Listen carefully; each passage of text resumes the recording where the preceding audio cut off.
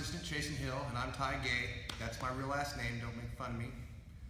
I cry a lot. Just kidding. But um, check this out. We were uh, we did this on Instagram the other day, and I had some people ask me about it. Some punch block protection. We'll demonstrate it once and explain it with a little more detail. Now, what's happening is I'm pinning his arm right there. You see his arm's underneath my arm here, which is the arm lock.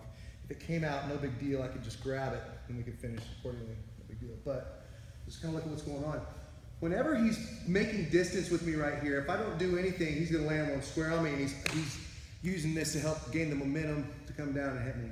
So what I'm going to do is I'm going to raise my hips up and I'm going to redirect his arm kind of like an arm drag and then reach underneath of his arm. Clasp my hands together.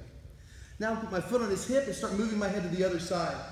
As I do that, I chop my leg up into his armpit, and then I throw my leg over his face. Once I get my leg over his face, I cross my feet. Now his arm is stuck underneath my arm. Even though my hands are clasped here, they're not really doing much but holding on. I add pressure with my elbow on this side going down and my hips going up very lightly. So again, whenever he posts off of me, typically they're gonna kind of sit up on their, on their knees and look, we're posting up. Now I could go some other stages, but this one's a really good one. Look, my hands are gonna grab with my thumbs on top. I hip up, and then as I pull him back down, I redirect. Even if you wanted to hit me in the face, slap me. He can't because he needs to post to save himself. Now I start to move my head to the other side to help this. So I'll put my foot on, on his hip and start moving to the other side. Now watch my elbow right here. I'm gonna use this to go around his head and kind of pin his face to throw my leg over it. Once my leg goes over it, I cross it. Which leg do you cross? The one that's on his head is the one you're gonna cross over. My legs are kind of short, so it doesn't work on everybody. If it doesn't uh, work on them, you can just clamp in. But if you can't cross them, do it.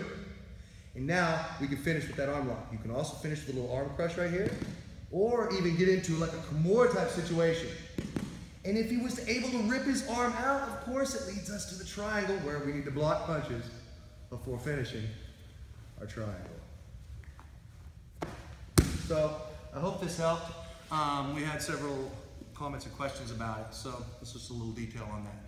If you have other moves that you would like to see or things you'd like me to break down, just um, send us a message or put them in the comments.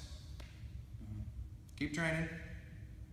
We'll be here on the mat. If you'd like to come train with us, feel free.